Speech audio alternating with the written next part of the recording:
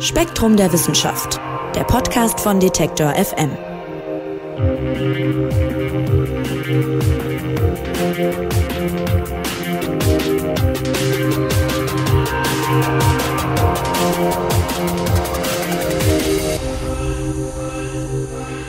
Hallo und herzlich willkommen zum neuen Spektrum Podcast von Detektor FM, aufgenommen hier im schönen Heidelberg in den Redaktionsräumen von Spektrum der Wissenschaft.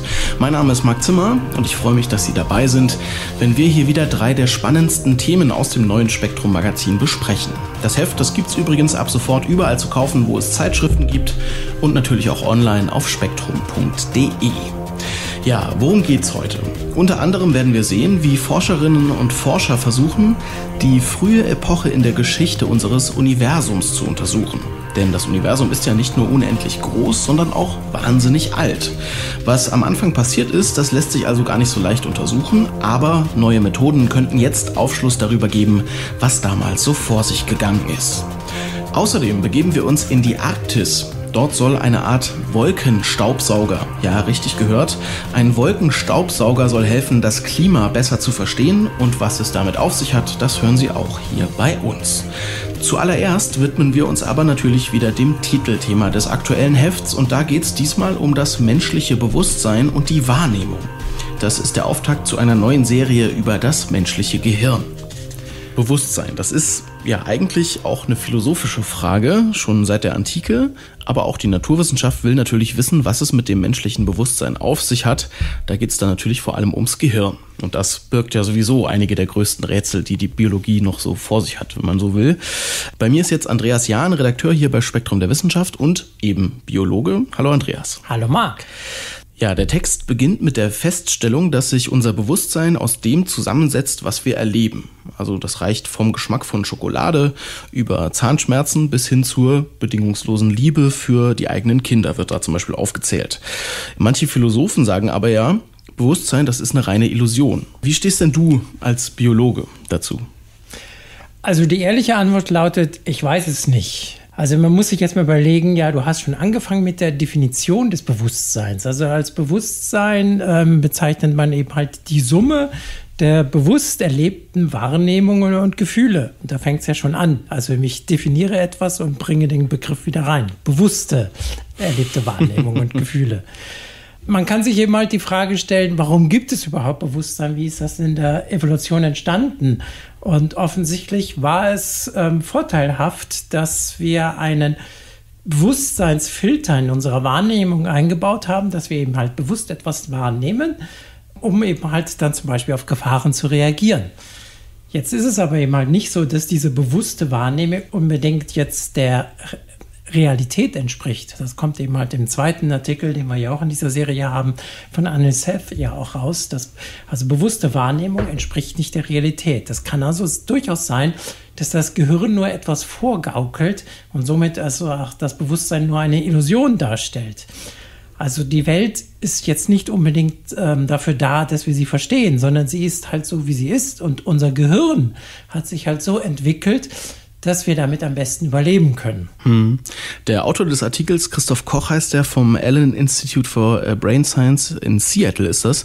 Äh, der sagt aber jetzt, äh, wir nehmen mal das Bewusstsein als gegeben hin, es existiert und jetzt will man herausfinden, wo es denn sitzt. Und dazu schaut man sich das Hirn an und sucht sogenannte NCCs. Was ist denn das? Ja, das sind die äh, Neuronal Correlates of Consciousness, also auf Deutsch die neurolaten Korrelate des Bewusstseins. Also wie du schon angemerkt hast, also man kann eben halt gucken, wo finden denn Spuren des Bewusstseins im Gehirn statt. Also Betonung liegt hier jetzt auf Korrelate. Also was kann ich mit Bewusstsein korrelieren? Denn mehr kann ein Naturwissenschaftler eben halt nicht machen. Und er kann eben halt dann schauen, wenn äh, bewusste Erlebnisse im Gehirn verarbeiten, wo passiert das? Und das sind eben halt diese neurolaten Korrelate des Bewusstseins. Hm, und zu welchem Ergebnis kommt man da? Also wo, äh, wo sitzt denn das Bewusstsein? Also so ganz genau kann man das natürlich nicht sagen. Also man kann eben halt schauen, wenn ähm, bestimmte Hirnbereiche ausfallen, was also zum Beispiel bei Schlaganfall oder sowas ähm, passieren kann, oder eben halt auch bei Operationen, wenn Chirurgen bestimmte Bereiche des Hirns wegnehmen. Das hat man zum Beispiel früher bei Epilepsiepatienten gemacht. dann kann man ja mal gucken, was gibt es für Ausfälle.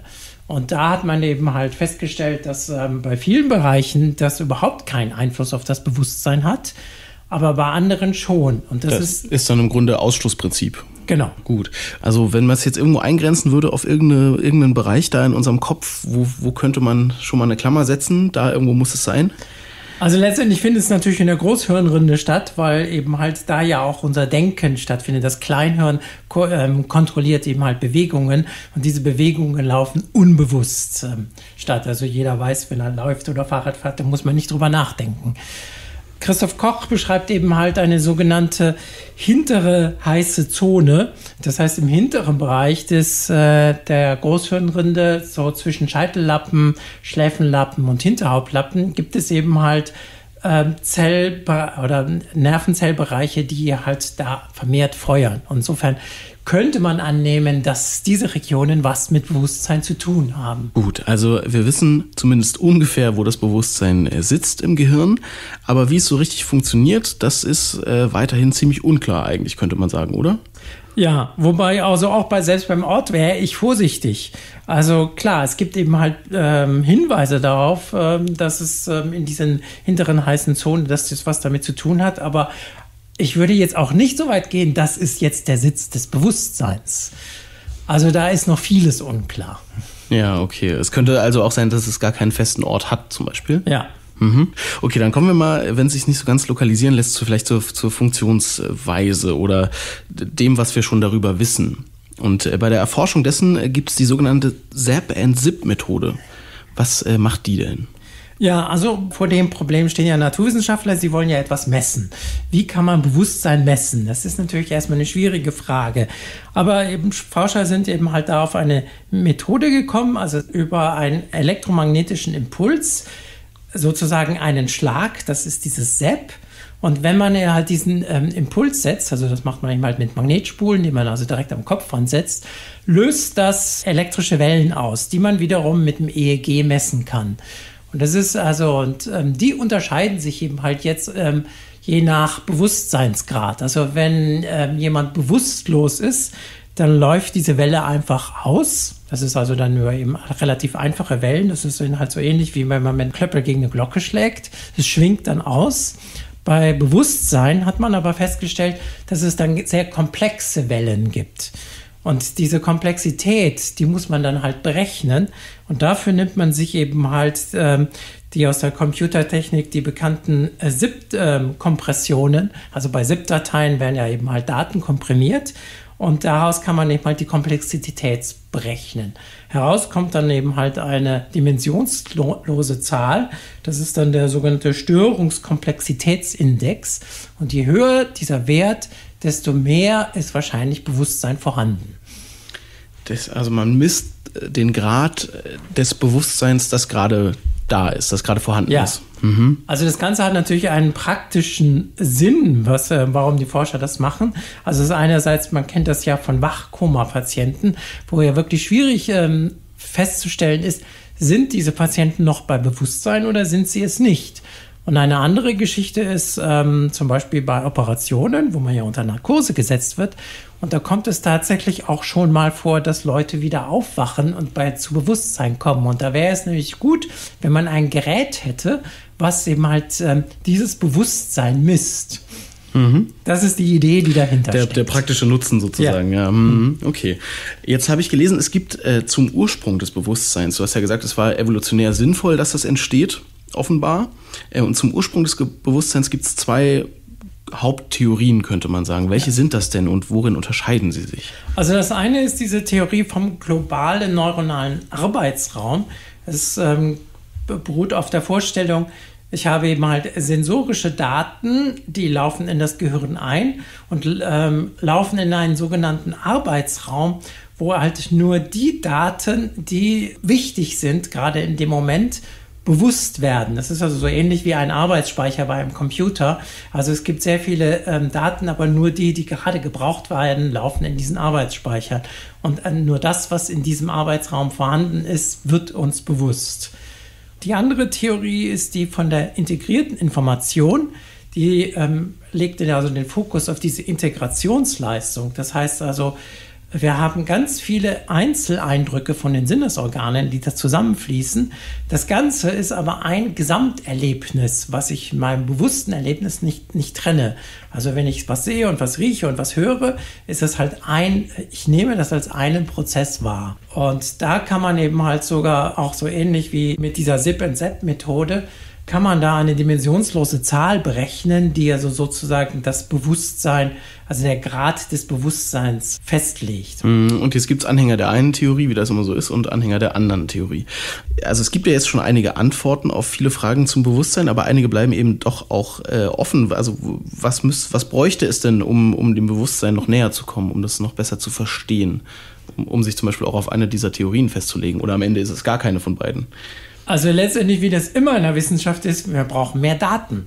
Das heißt, wir müssen eben halt äh, mehr Experimente machen, um eben halt versuchen, eine Theorie zu widerlegen oder vielleicht, wie das eben ja auch in der Physik dann auch oft ist, dass man versucht, aus, aus ähm, wenn man eben halt merkt, ja, die Daten passen mit der Theorie nicht und die Daten passen mit der anderen Theorie nicht, dass man versucht, sozusagen aus den Trümmern der beiden Theorien wieder eine neue Theorie zu generieren. Aber so weit sind wir noch nicht. So weit sind wir noch nicht, okay. Aber wir haben gehört, äh, es gibt äh, Annäherungen an das, was Bewusstsein eben ist und was ja die Menschen schon seit Jahrtausenden beschäftigt. Diese Frage, was, was ist Bewusstsein? Äh, und ganz eng damit verknüpft, das hast du schon angeschnitten, ist auch die Wahrnehmung. Da gibt es äh, zum Titelthema dieser Ausgabe einen zweiten Text, da geht es verstärkt um die Wahrnehmung und auch um die Frage, was denn, was denn Wahrnehmung ist. Und da wird dieses Beispiel genannt, äh, was vor ein paar Jahren, ich weiß gar nicht mehr wann genau das war, das Internet praktisch äh, gesprengt hat. Dieses äh, Beispiel von dem Kleid, das die eine Hälfte der Menschheit gefühlt äh, blau und schwarz gesehen hat und für die anderen war es irgendwie weiß und golden, wenn ich das richtig erinnere. Mhm. Je nach Betrachter. Und das zeigt ja schon, was du vorhin gesagt hast, dass eben wir nicht die Realität so wahrnehmen, wie sie ist, sondern eben so, wie sie bei uns ankommt. Ja? Anderes Beispiel wäre vielleicht, weiß nicht, Leute nehmen bestimmte Umgebungen als bedrohlich wahr, während andere Leute da durchlaufen und das gar nicht so wahrnehmen, ne? je nachdem, was man vorher erlebt hat. Man kann das auch ganz einfach, also jeder kennt ja diese optischen Täuschungen, dass eben halt irgendwelche Linien eben halt je nachdem, wie sie gezeichnet sind, kürzer oder länger erscheinen. Oder ein schönes Beispiel ist auch, wenn, wenn du in den Flughafen gehst und die Anzeigentafel, da gibt es immer so diese Lichtpunkte, die hin und her springen. Jeder weiß, das sind zwei Lampen, die nur abwechselnd an und ausgehen. Aber kein Mensch kann sich dem entziehen und, und sieht so, als ob es ein Lichtpunkt ist, der hin und her springt. Obwohl er natürlich nicht springt. Das heißt also, hier sieht man nicht die Realität. Obwohl ich es weiß, kann ich mich dem nicht entziehen. Und das kommt natürlich auch wieder hier, wenn man jetzt evolutionär denkt, ist es natürlich sinnvoll anzunehmen, wenn irgendetwas auftaucht und verschwindet dann wieder und taucht an einer anderen Stelle auch auf. Ja, dann war das wahrscheinlich der Säbelzahntiger, der hinter dem Baum gelaufen ist. Und es wäre dann sinnvoll, dass ich den besonders wahrnehme. Das ist jetzt der zweite Punkt. Die Aufmerksamkeit wird natürlich auf solche Bewegungen auch gezogen. Klar. Und bei wem mhm. das nicht äh, passiert ist, der wurde halt gefressen. Ja, und äh, das Thema Wahrnehmung hat auch wieder sehr viel mit Philosophie auch zu tun oder auch äh, Soziologie. Ähm, Konstruktivismus zum Beispiel ist ja so ein bisschen die Idee, dass ja wir Realität eher konstruieren, als dass wir sie objektiv wahrnehmen. Äh, das hängt ja auch, auch sehr stark damit zusammen. Und jetzt geht das äh, so weit, dass äh, hier in dem Text Wahrnehmung als kontrollierte Halluzination bezeichnet wird. Da musst du mal erklären. Ja, also Herkömmlich hat man ja das so betrachtet, dass ähm, die Wahrnehmung ist sozusagen ein Fenster zur Realität.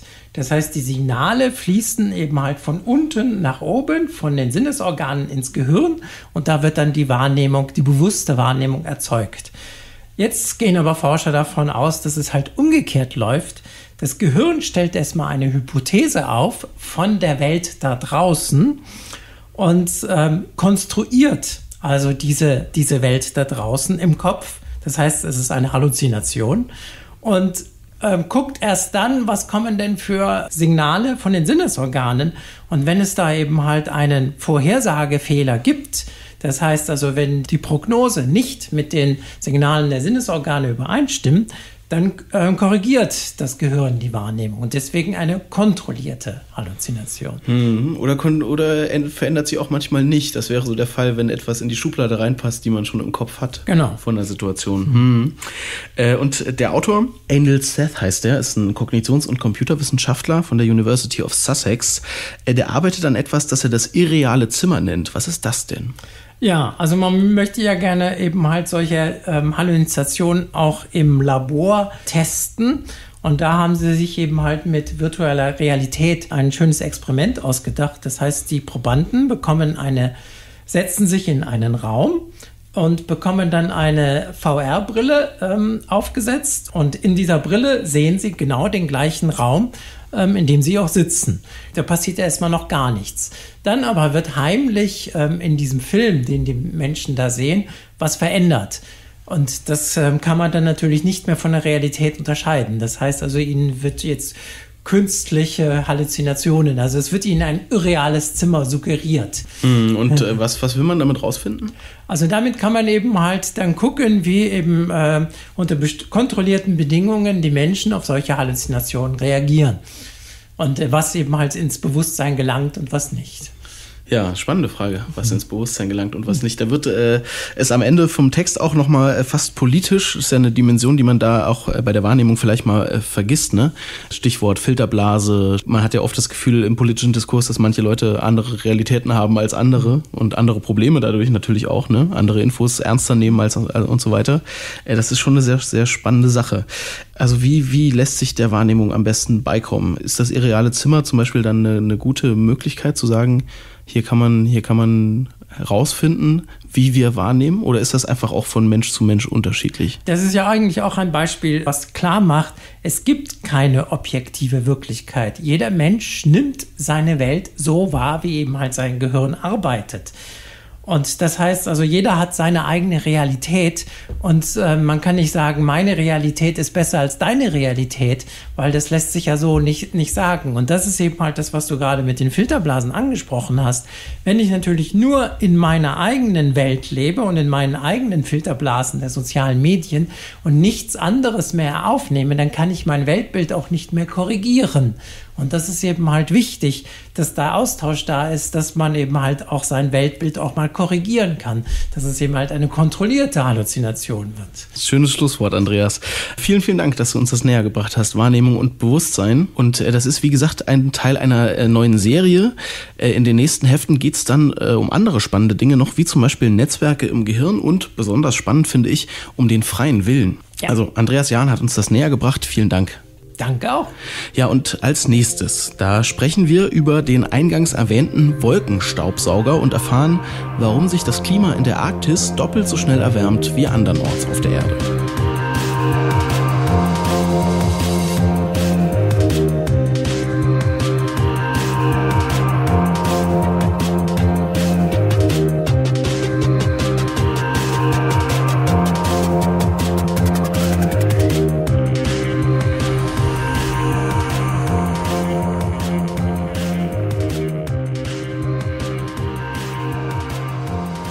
Staubsauger für die Wolken, da hat man irgendwie gleich ein Bild im Kopf äh, von so einer riesigen Maschine, die weiße, dicke Wolken einsaugt.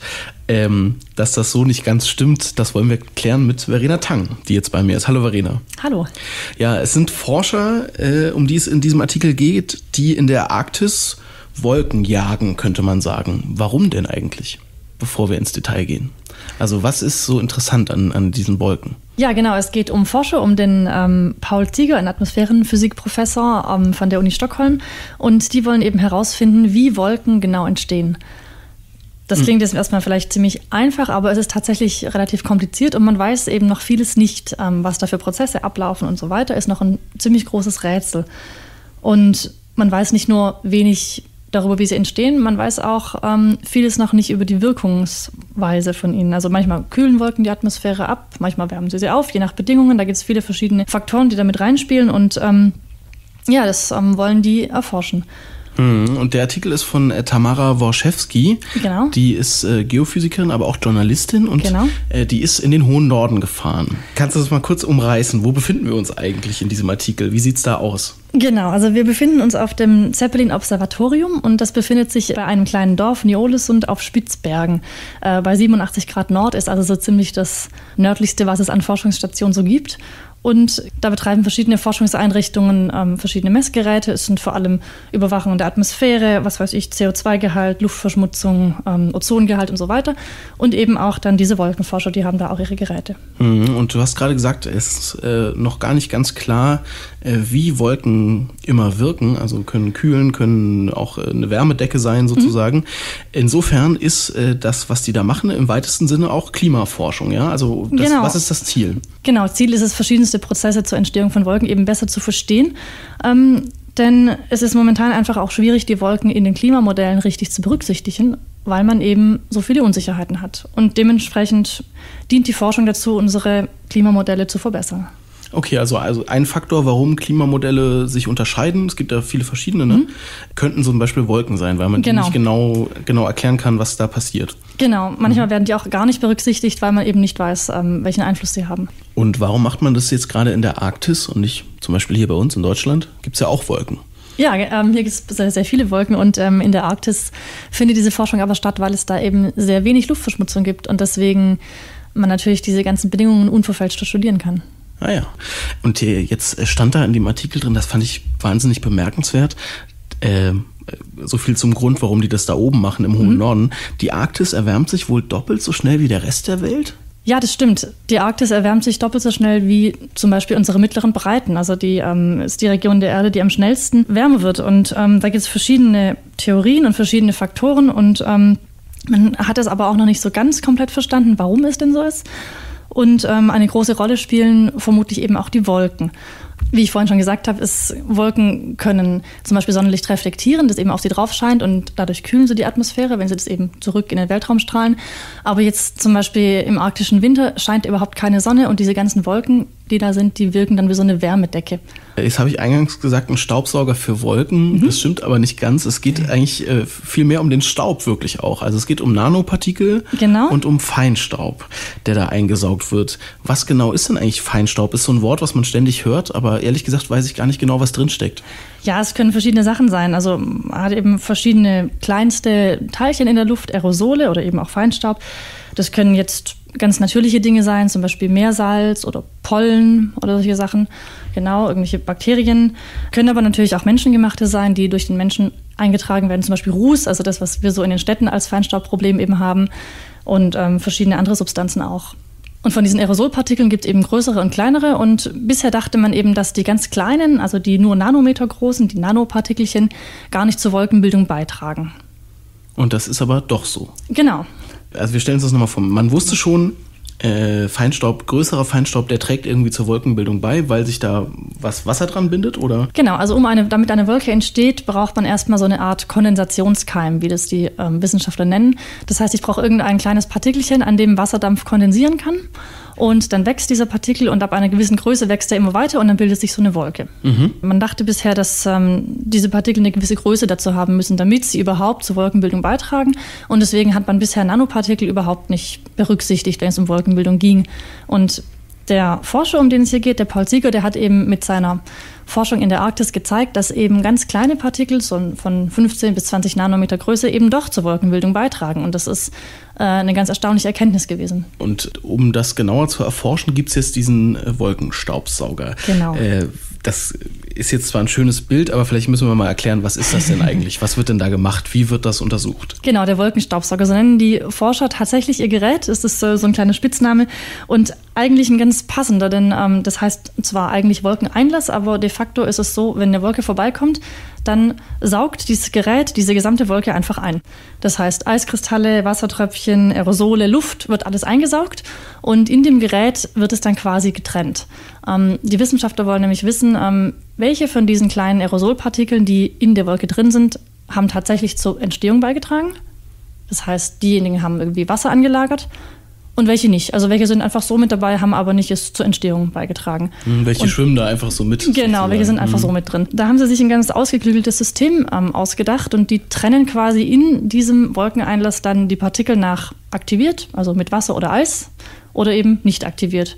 in quasi verschiedene Kammern, so kann man sich das vielleicht vorstellen. Und dann können sie eben gezielt diejenigen untersuchen, die tatsächlich ähm, an der Wolkenbildung beteiligt waren. Und das ist ganz neu, dass man eben gucken kann, wo sind wirklich die aktivierten Partikel, die kann ich dann untersuchen, denn wir wollen ja mehr darüber hinausfinden, was sind das äh, für Teilchen, wie groß sind die, wie sind die beschaffen etc. Und den Rest ähm, kann man eben getrennt untersuchen. Ja, das klingt ja so ein bisschen so, wie ich mir äh, so ein, in einer Fabrik irgendwie vorstelle, wie Sachen getrennt werden aus so einem Förderband. Da wird was rausgepustet, was mhm. leicht genug ist, sozusagen, und dann wird, werden Bestandteile irgendwie aufgetrennt. Ist es, ist es so ein ähnliches? Ja, Prinzip? so ähnlich. Das ist quasi so eine Art äh, Gegenstrom, der da ist. Und die Teilchen, die eben ähm, schwer genug sind, das heißt diejenigen, die irgendwie Wasser angelagert haben oder Eiskristalle, die sind schwer genug und können da durchfliegen weiter in den Probenraum oder wie auch immer. Und der Rest der Teilchen, die eben zu leicht sind, die werden abgelenkt. Und was übrig bleibt, ist dann am Ende ein Haufen von Nanopartikeln, von genau. denen ich weiß, die haben zur Entstehung dieser Wolke beigetragen. Genau.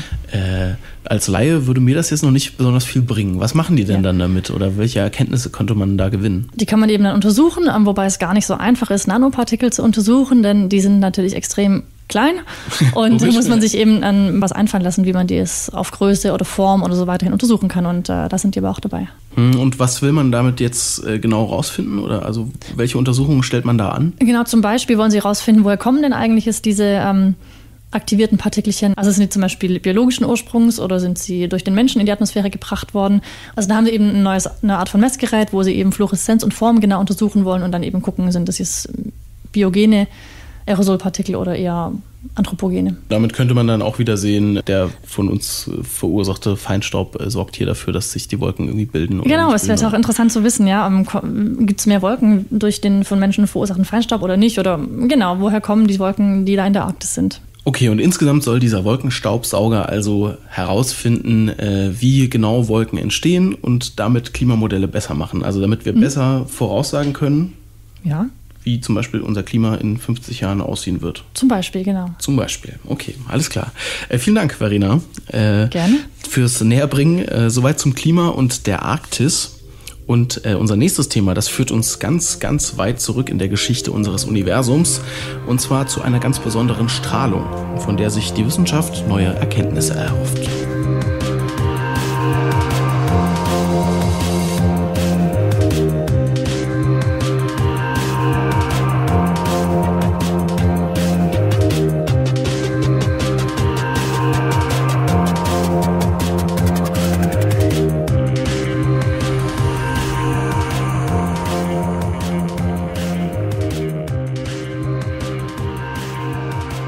Das Universum ist sehr alt. Um das zu wissen, muss man jetzt nicht gerade Astrophysik studiert haben. Äh, Spektrum-Redakteur Mike Beckers hat das trotzdem getan, ist jetzt bei mir. Hallo Mike. Hallo Marc. Äh, und du hast dich in der aktuellen Spektrum um einen Artikel gekümmert, der sich mit etwas beschäftigt, das äh, dunkles Zeitalter genannt wird. Oder zumindest wird es in der Überschrift so genannt. Und die Rede ist von den ersten paar Millionen Jahren, könnte man sagen, vom Universum. Ja, ist das richtig? Genau. Und mal ganz platt gefragt, wie alt ist denn das Universum? Also das Universum ist ziemlich genau 13,8 Milliarden Jahre alt. Das weiß man äh, durch die Messung der kosmischen Hintergrundstrahlung vor allem. Das ist quasi der Nachhall des Urknalls. Der Urknall war sehr heiß und sehr laut und äh, hat Spuren hinterlassen im Himmel um uns herum, die wir heute sehr gut messen können. Und dadurch kann man dann zusammen mit den Theorien über die Ausdehnung und Entwicklung des Universums zurückrechnen und kommt auf diese 13,8 Milliarden Jahre. Hm, hätte ich gar nicht gedacht, dass man das so genau oder halbwegs genau beziffern kann. Äh, der Text beginnt jetzt mit einem Vergleich. Äh, das Universum steht da, könne man sich als Wassermelone vorstellen. Äh, das musst du, glaube ich, mal erklären. Das ist auch ein Vergleich, den ich vorher noch nicht gehört habe. Ähm, den hat sich unser Autor ausgedacht, äh, der für Nature schreibt. Und der Wassermelonenvergleich ist eigentlich ganz charmant, weil man kann sich unsere Galaxie, die Milchstraße, als Kern im Zentrum einer schönen, saftigen Wassermelone vorstellen. Und die ganzen anderen Kerne um unsere Galaxie herum sind andere Galaxien. Und das geht immer so weiter, bis man dann an den Rand der Wassermelone langsam kommt.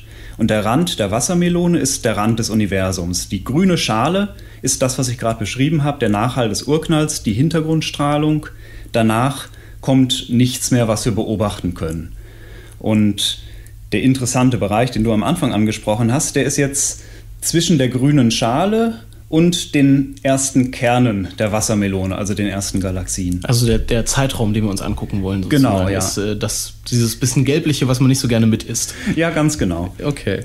So, und jetzt ähm, musst du mir einmal sagen, ob ich das richtig verstanden habe. Also, weil äh, Licht sich mit einer gewissen Geschwindigkeit bewegt und das Universum so riesig ist, ist das, was wir sehen, wenn wir es jetzt sehen, beispielsweise mit dem Teleskop irgendwie ins All gucken, dann ist das schon wieder sehr alt, was wir da sehen. Ist das richtig? Also ganz genau. Das ist schon wieder eine Weile her, ein, kein aktuelles Bild, was man sieht, wenn man in den, in den Weltall guckt. Ganz genau. Das, das sind eigentlich zwei Effekte, die da zusammenkommen. Einmal diese enormen Abstände, die wir im Universum haben. Also Licht, was jetzt Milliarden Lichtjahre von uns entfernt ausgesendet wird, das braucht eben auch Milliarden Jahre, um hier anzukommen. Also Licht reist äh, 300.000 Kilometer in der Sekunde, also in einer Sekunde ein paar Mal um die Erde. Aber schon, ich glaube, es sind sechs Minuten bis zur Sonne. Und wenn man dann noch größere Abstände nimmt, braucht es halt immer länger und Licht, was von sehr weit entfernten Punkten im Kosmos kommt, das ist dann auch sehr lang unterwegs. Das heißt, wir sehen heute eigentlich immer nur Vergangenheitsaufnahmen oder wir sehen eigentlich immer nur die Vergangenheit von Dingen, die es vielleicht schon längst nicht mehr gibt im Kosmos. Das ist der eine Effekt. Und der zweite ist, dadurch, dass sich das Universum ausdehnt, wird das Licht von den weit entfernten Objekten gestreckt. Die Kosmologen sagen dazu rot verschoben. Das heißt, das ist ein bisschen wie bei einem Krankenwagen, dieser berühmte Doppler-Effekt, wenn der von uns wegfährt, dann hört man es äh, ein bisschen niedriger und wenn er auf uns zufährt, hört man es ein bisschen höher. Und äh, so ähnlich ist es auch mit dem Licht. Das heißt, weit entfernte Galaxien oder Phänomene, die sich äh, von uns wegbewegen mit immer höherer Geschwindigkeit, die sieht man immer röter. Also das sind zwei Effekte in der Kosmologie so dass man immer in die Vergangenheit guckt und immer in, in ein etwas röteres Universum. Verstehe. Man guckt nicht nur in die Ferne, sondern auch in die, in die Vergangenheit im Grunde. Mhm. So, äh, zurück zu dieser ersten äh, Jahrmilliarde des Universums. Äh, also dieses Weiße zwischen Schale und dem roten Fruchtfleisch in der Melone in diesem Vergleich. Ähm, warum ist denn dieser Zeitraum so interessant? Das Spannende an diesem Zeitraum ist, dass er ganz, ganz entscheidend für die weitere Entwicklung des Universums war, weil sich da die ganzen Strukturen ausgebildet haben. Also im Urknall ist ja alles an Materie entstanden, vor allem Wasserstoff, also Protonen und Elektronen. Die haben sich dann nach dem Urknall, als es entsprechend kühl genug war, zu Atomen zusammengefunden, also ein Proton, ein Elektron zu einem Wasserstoffatom. Und äh, heute sind immer noch drei Viertel des Universums Wasserstoff.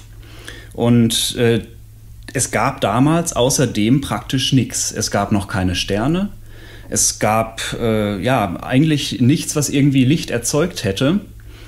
Und trotzdem sind damals eben durch die Dichteschwankungen, die schon vorhanden waren, die ganzen Strukturen entstanden, die wir heute sehen. Und wir würden natürlich sehr gern wissen, wie es nach dem Urknall bis zur ersten Galaxie, bis zu den ersten Sternen, die entstanden sind, wie es da genau abgelaufen ist. Und da haben wir eigentlich, ja, zumindest im optischen Bereich nichts, was wir irgendwie sehen können, weil Wasserstoff ist undurchsichtig für bestimmte Frequenzen und eben farbneutral.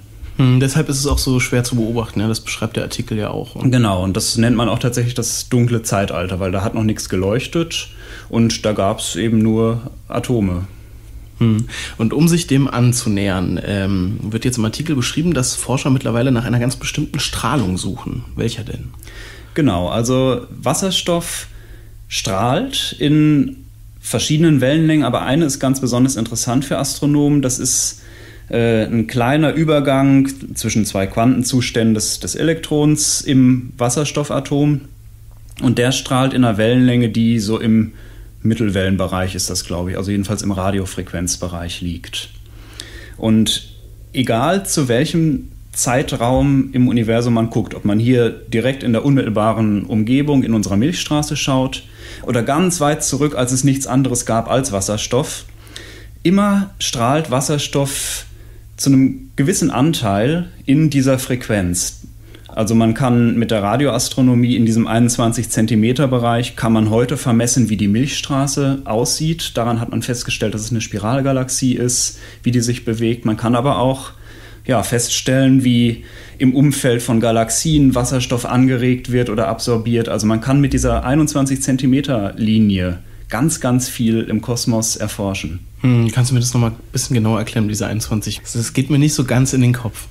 Also es ist ein äh, Übergang in einem äh, Wasserstoffatom wo das Elektron zwischen zwei Quantenzuständen wechseln kann. Dazu kann man es anregen, so ein bisschen wie, wie bei Fluoreszenz in einer, in einer Schwarzlichtdisco. Da, da hast du UV-Licht und strahlst auf irgendwas drauf und das leuchtet dann anschließend. So ein bisschen ist es auch beim Wasserstoff. Also wenn du Wasserstoff in dem Umfeld von einem Stern oder einer Galaxie hast, die UV-Licht ausstrahlt, dann kann dieser Quantenübergang angeregt werden und dann äh, sendet das Wasserstoffatom diese 21 Zentimeter Wellenlängenlinie aus.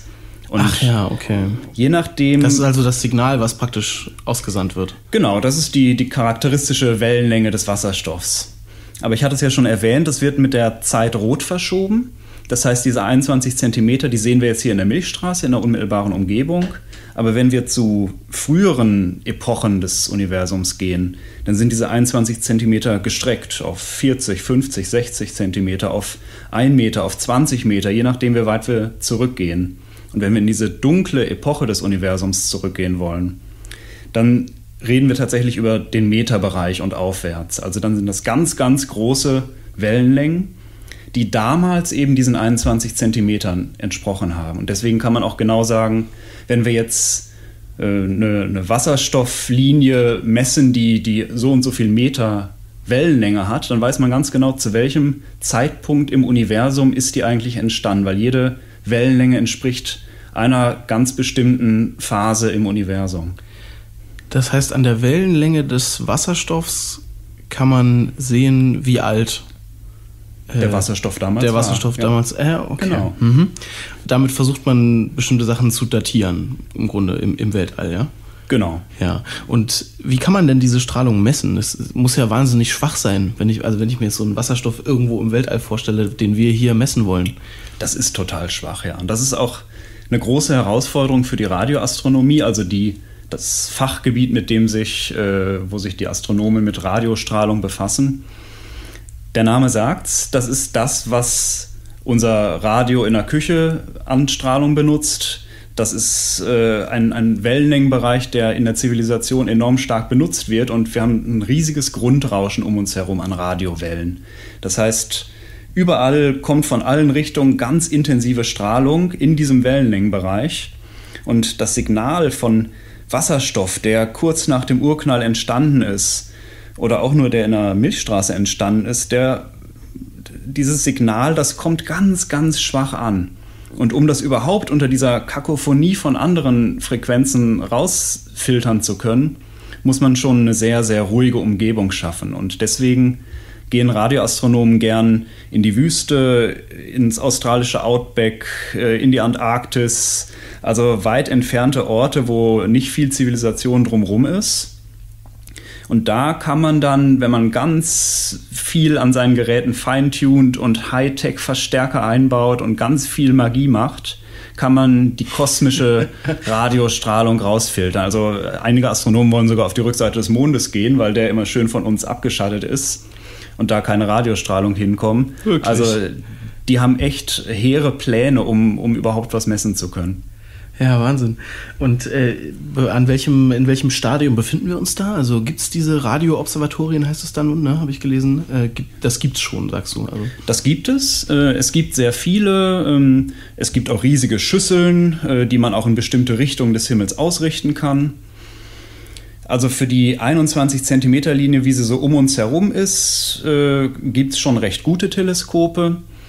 Aber für die schwächeren und, und weiter entfernten, also längeren Wellenlängen, da gibt es äh, immer noch große Probleme, da empfindliche Geräte zu bauen, weil je größer die Wellenlänge ist, desto größer muss deine Schüssel werden, mit der du sie einfängst, um eine ordentliche Intensität zu messen.